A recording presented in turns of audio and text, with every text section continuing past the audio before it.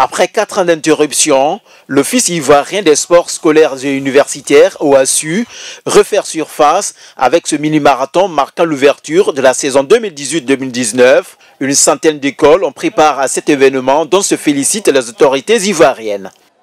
Que le sport soit le lieu de l'éducation de la citoyenneté, que le sport à l'école soit une réalité pour que vive une Côte d'Ivoire toujours forte et orientée vers le futur grâce à ces enfants bien formés. Cette huitième édition affirme sa volonté de faire de l'école le creuset de futurs talents. Plusieurs pays africains, dont le Maroc, étaient présents à cette cérémonie d'ouverture. Aujourd'hui, le Maroc est là, il est pour la promotion du sport scolaire, euh, parce qu'il a été aussi élu par la Fédération internationale du sport scolaire comme étant président euh, pour 4 ans de la Fédération africaine du sport scolaire. Donc c'est les raisons pour lesquelles nous sommes là et nous sommes dans une logique de, de promotion du sport scolaire africain.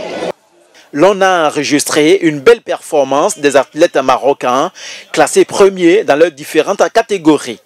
Je suis très fier d'être avec ici ici avec vous. Et, j'ai l'honneur euh, de, de, devenir le premier. Monsieur, l'année prochaine, c'est sûr, c'est forcé que mon établissement reporte le marathon.